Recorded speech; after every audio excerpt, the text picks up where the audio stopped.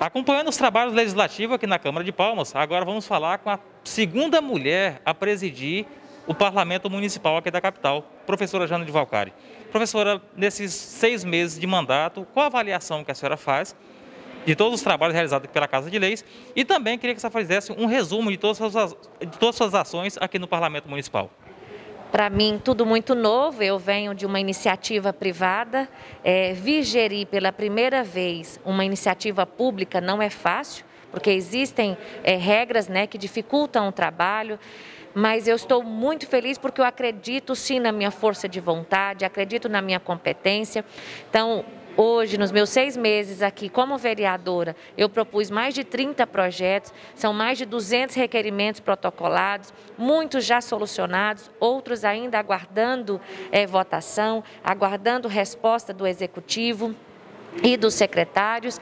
Mas a questão do trabalho para gerir aqui essa casa, tivemos aí os cortes dos carros, tivemos o corte da CODAP nos meses que tem recesso parlamentar, hoje o vereador não, não recebe, eles recebiam antes. Tivemos aí o que nós economizamos. Nessa economia, nós vamos conseguir digitalizar os processos antigos para que a sociedade possa ter contato, né? O que que temos hoje de lei? Também tivemos aí a Galeria dos Presidentes, estamos colocando agora a Galeria dos Vereadores, que é uma história para o nosso município.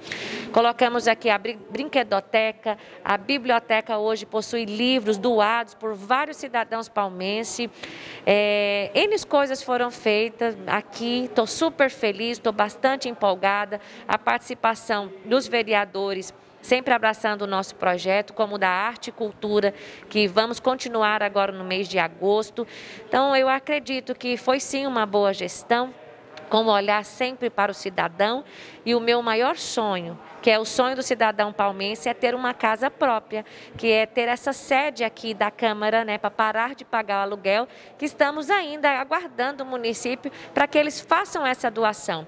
Então, tive uma presença importante com a, a, o protocolo da CPI dos transportes, né, a CPI da BRK. Fizemos aí várias é, audiências públicas onde eu participei atuante, brigando pelos nossos é, ideais, pelo, pelo condicionamento da população, porque a pobreza só está aumentando, a dificuldade do nosso cidadão só aumentando. Então, eu quero olhar, eu quero ser sim a representante do povo, eu acredito na mudança, eu acredito em uma política pública de verdade. Professora, eh, a gente também tem acompanhado a senhora nas redes sociais e vimos que a senhora tem um gabinete itinerante, que a senhora tem atuado, em diver, tem atendido em diversas localidades daqui da capital, inclusive nessas partes externas, nas partes de fora da cidade, que é onde é a Capadócia, região norte da capital. O que a senhora pode falar para essa população? Que também a senhora colocou também a questão lá da auditoria senhora recebe solicitações, denúncias, é, durante esse recesso parlamentar. As pessoas podem continuar contando com a Jana de Valcari? Com certeza, o nome para mim é trabalho e sobrenome também. Nós criamos já o gabinete móvel, porque quando eu era simplesmente uma cidadã é, comum, eu queria ter um representante, né, que falasse por mim. E eu via que eles ganhavam, eles sumiam. Então eu propus esse esse gabinete para que eu pudesse estar andando na cidade, para que as pessoas pudessem ter um contato comigo, falar comigo. Então esse gabinete móvel, onde é um ônibus e eu vou para as quadras, eu vou para as feiras. Então é muito interessante, é muito importante para que a gente, que a pessoa pode saber que o vereador está ali presente. E quanto à questão da ouvidoria, deles mandarem, eu tenho o celular da ouvidoria do meu próprio gabinete, eu estou à disposição, continuarei na Câmara, continuarei nas ruas, porque o recesso para mim é só o nome, eu vou estar trabalhando.